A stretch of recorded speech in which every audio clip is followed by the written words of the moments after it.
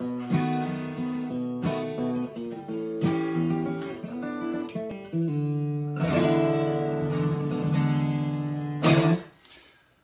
going on, Tone Freaks?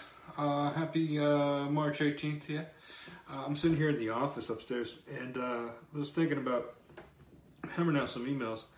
With all of us kind of locked up these days, is there a way for us all to kind of like jam on one tune together? I don't know. If I come across, I'm sure there's backing tracks out there, like just a basic blues shuffle and E or something that we can all maybe lay down verse or chorus solo, whatever, and uh, I don't know, maybe make a collective song out of it, like a Sheptone jam or something.